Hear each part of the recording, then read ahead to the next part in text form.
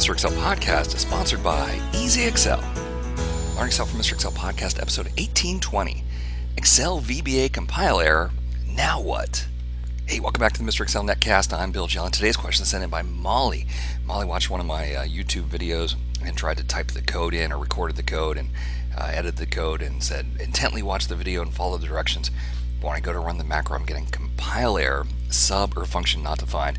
Any thoughts? And here's the uh, screenshot from the video. I don't know, Molly, how you followed anything. The resolution back then was was so bad. But let's go take a look at uh, some code that I have here. It's not the exact code from the video, uh, but we have a uh, workbook that's called Create Pivot. Now, as you're typing things, you know, uh, what could go wrong? You could mistype things. So I'm going to come here where we have wsd.cells and replace the two L's with two ones. It kind of looks the same.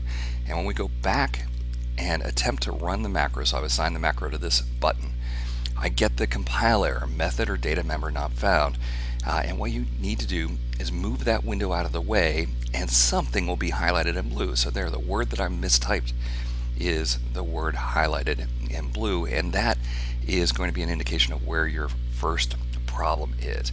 Alright, so always move the, the uh, this message out of the way and uh, you know see what it is. Now rather than running the macro, here we'll stop, um, you can always come here and do debug compile VBA project before you attempt to run it and it will tell you if there are any um, obvious errors. So here debug compile VBA project um, and everything is fine. It doesn't mean that the macro is going to run, it just means that it can't detect anything that was wrong in advance. Like for example this Excel up, if we put a 1 there, it will um, debug, it'll compile fine.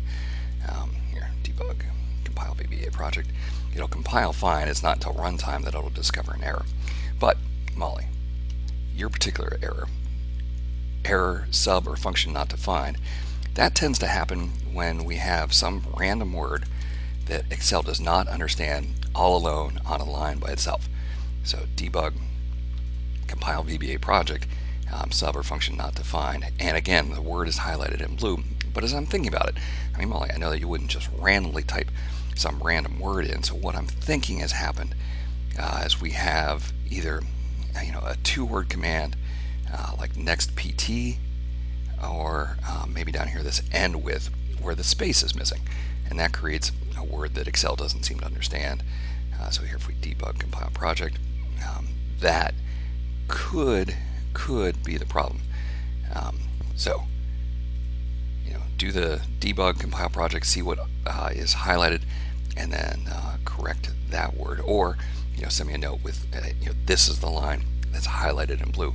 But it's still possible that after you typed everything, you're going to get a clean compile, even if there is a mistake, like the X1 up, and you won't see that until uh, we go to run the code. Let's take a look at that.